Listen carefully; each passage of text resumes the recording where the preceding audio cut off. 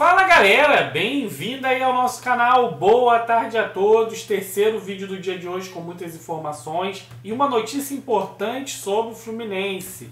Peço a sua inscrição que ajuda demais o crescimento do canal a trazer mais conteúdos e a trazer também mais vídeos. E quem quiser entrar na nossa liga aí do canal de futebol do Cartola, o link está na descrição. No final do ano terá prêmios para a galera aqui do canal de futebol lá na nossa liga do Cartola. Angione Sônia empresário e propõe empréstimo de Eduardo Sacha até o final do, do Brasileirão. Fluminense houve exigência do Galo. Atacante de 29 anos, que está na reserva do time do Cuca, desperta interesse de três clubes do Brasil. Flu quer empréstimo e houve condições da diretoria mineira para o negócio. Diego, o Eduardo Sacha, ele não é jogador de área?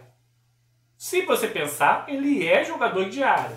Tem já o Fred, tem o Bobadilha, que me parece também jogador de área, e o Abel Hernandes, jogador de área.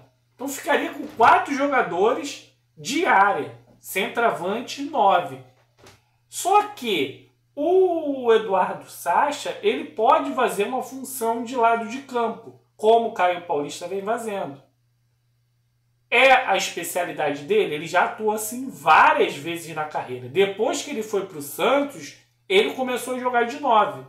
E ali sim apareceu mais o nome do Eduardo Sacha. Mas no início da carreira dele, ele era jogador de ponta.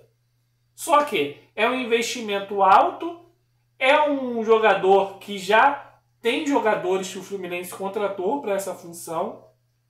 Ele faz o que o William faz, né? Acho o William Bigode um jogador mais qualificado do que ele tecnicamente mas ele consegue fazer também algumas funções táticas importantes que o Roger Machado é, gosta. Já trabalhou com o treinador, né? O Eduardo Sá já trabalhou com o Roger Machado. É um jogador experiente.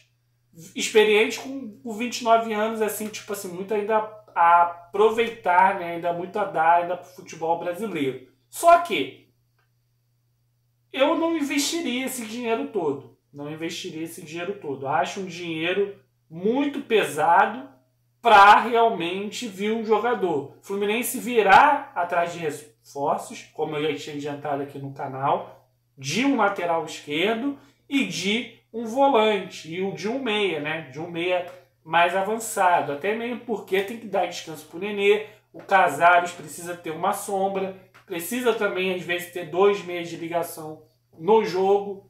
Então, o Fluminense vai atrás desses jogadores. Tem cinco vagas já vagas. É, tem cinco vagas já disponível para a próxima fase da Libertadores. E o Fluminense sabe. Pô, foi para a Libertadores. Entrou na Libertadores. Poderia ter, se perdesse para o Rive e o Júnior Barranquilla vencesse, poderia ir para a Sul-Americana. Que teoricamente seria um torneio mais fácil. Mas a Libertadores é um torneio mais difícil que estão os melhores e para isso precisa reforçar o elenco. Quero saber sua opinião, o que vocês acham desse jogador Eduardo Sacha, se realmente é bom vir ou não, deixa aí por critério de vocês. Lembrando que amanhã, 9 horas, Fluminense São Paulo, jogo válido aí pela primeira rodada do Campeonato Brasileiro. Um beijo, muito obrigado pela audiência, fui!